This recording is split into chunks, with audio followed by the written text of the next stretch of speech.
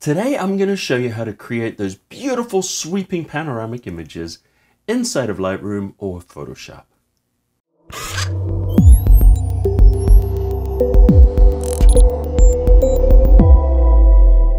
Hey Cafe crew, it's Colin Smith here from PhotoshopCafe.com and today I've got a fun tutorial for you.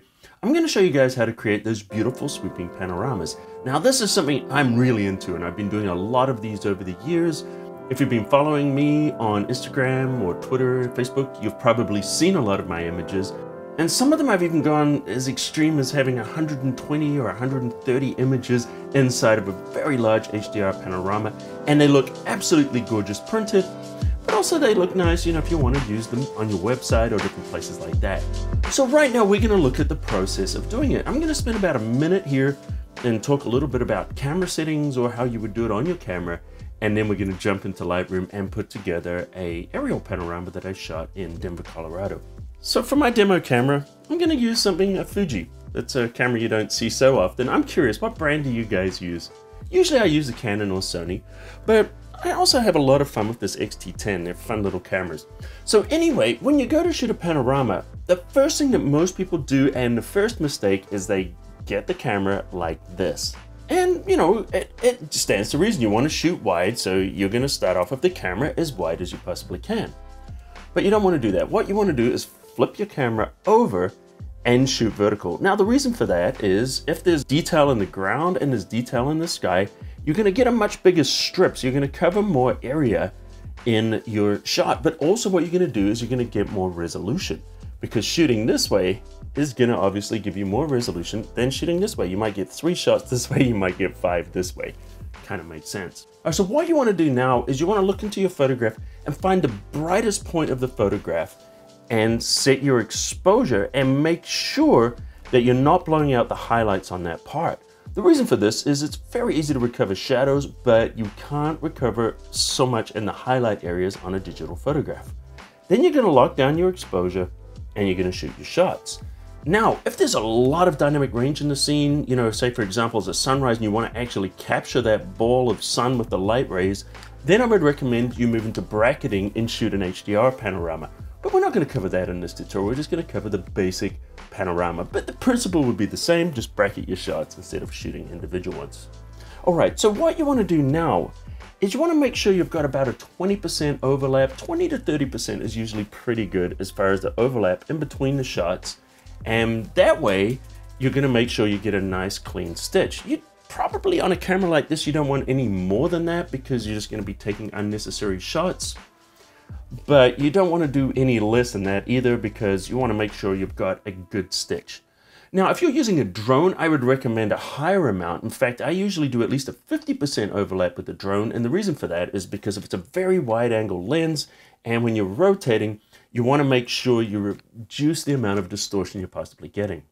Now, another thing to bear in mind, if you have objects in the foreground or very close to this camera, you're going to be dealing with parallax. What is parallax? Well, put your finger out in front of your face right now and close one eye and see where it lines up on the background. Now change the eye and notice it shifts quite a lot. Now, if your subject's far away from you, parallax is not going to be an issue.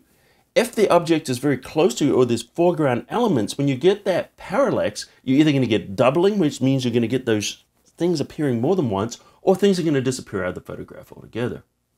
The key to that is to rotate the camera. Rather than just rotating the camera like this, or rotating like this, what you want to do is rotate the camera on the nodal point. What do I mean by the nodal point? This is the point of no parallax on the camera. And you can find it by simply looking and rotating your camera. Maybe I want to turn my camera from here, see the side of the lens? Test that.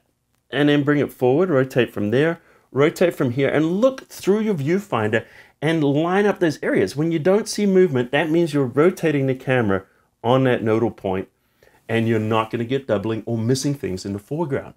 You can buy tripod heads shot for panorama, such as the Nodal Ninja, or I have the Manfrotto, where you can actually align it. So you set up your camera this way, you set it up this way, and you set it up this way so you can reduce that. But my little trick here is if I just use my finger, I can figure out exactly where, or in this case, shooting that way, I can figure out where I want to rotate that camera. So that's just a little kind of a hack for you guys.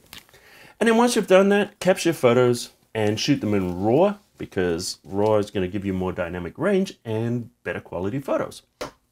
Then when you've done that, we're going to go into Lightroom and let's pick up right here. Now, it doesn't matter if you're using Lightroom, and it doesn't matter if you're using Mac or PC, it's identical. And also, it doesn't matter if you're using Photoshop. If you're using Photoshop, go into Camera Raw. It has to be, of course, Photoshop CC or newer. And you are going to have the same settings available that you have here. They're exactly the same. In fact, they just might be in different places. So we'll, we'll touch on that where they differ. All right, so now we've got photographs here. Here's a number of photos. How many do I have? I have 11 shots here that I shot in Denver. And you can see with my drone, I was kind of flying around here looking for different things. Now you might notice something interesting here. Notice this is a higher altitude and then we've got a lower altitude. What's going on here? Well, what I did is I shot this multi-row. Let me increase this so, can, so I can show you. So essentially what I did is because it's just going to be too thin and I want more detail in the ground and I want more detail above. And by the way, I was across the street. I wasn't anywhere near the stadium when I was shooting it in case someone's going to ask about that. No, I was flying perfectly legal.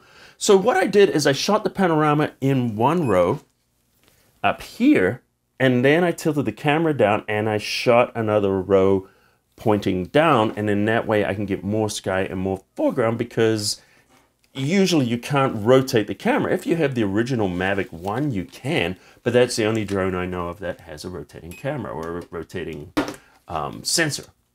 So otherwise you have to shoot the different rows. On a camera, tilting the camera sideways will alleviate this. Okay, so now that we have all of these photos, what we're gonna do is I'm just gonna select them all.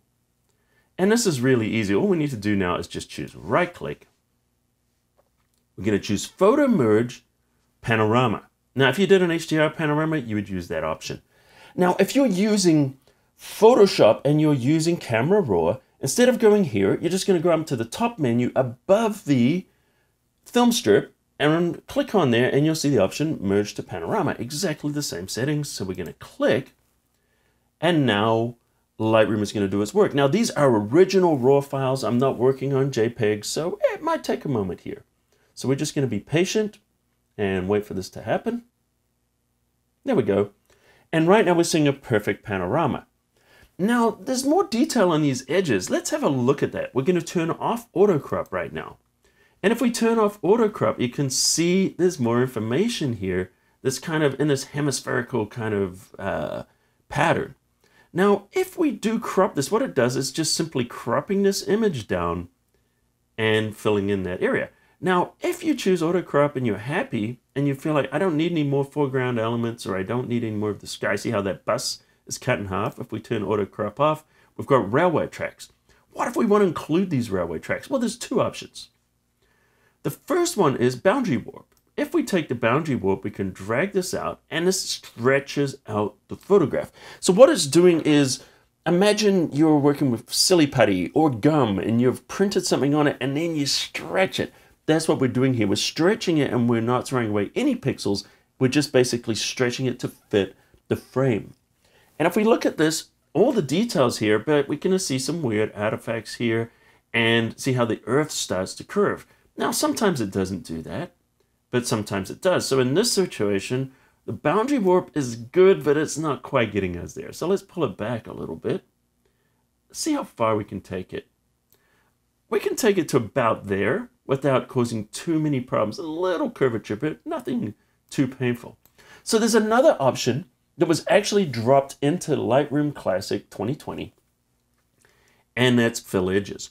So essentially, if I click on that fill edges, what it's going to do is going to use content aware fill to fill up these edges. Now, it's not going to be perfect, but it's definitely going to be a good starting place. Let's have a look. Turn on fill edges, and let's see how well it does.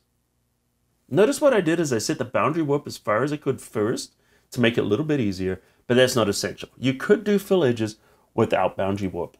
Okay, if we look at it now, how is it looking? It's pretty good. Like, there's a little work we need here. This corner looks great. Up here, I see a doubling of that building. If we clone out that, we'll, we'll be okay.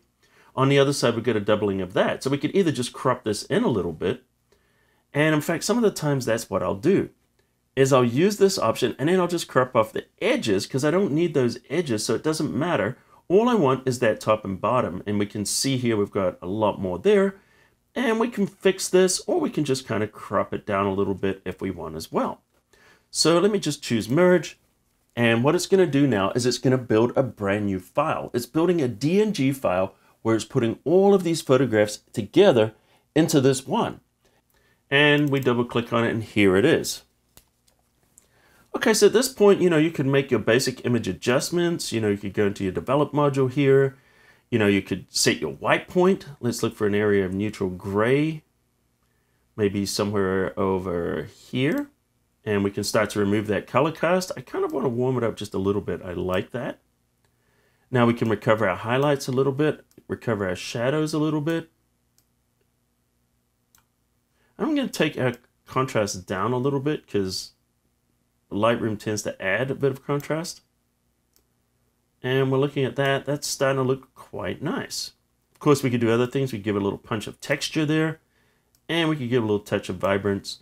And you can see, you know, there's some areas here that need to be fixed up on these corners there. The other thing I did mention, we could crop this. So if we wanted to go here, one of the things I might do is just kind of crop that in a little bit. And then we can just get rid of all these areas there and we don't have to worry about the issues. Just hit enter. Okay, so then we could go into Photoshop. We could do a little bit of cloning and healing. And I've got plenty of tutorials on that here on this channel. So what do you guys think about this working here in Lightroom Camera Raw? I think it's a pretty fast and easy way of working with panoramas. Let me know in the comments underneath if you learned anything new. And by the way, if you're new here and this is your first time on Photoshop Cafe, first of all, welcome. And yeah, consider hitting that subscribe button, become part of the Cafe crew, and then ring that notification bell so you know when I upload a new tutorial, which is every single week. Anyway, guys, if you like this, smash the like button into dust. And until next time, I'll see you at the cafe.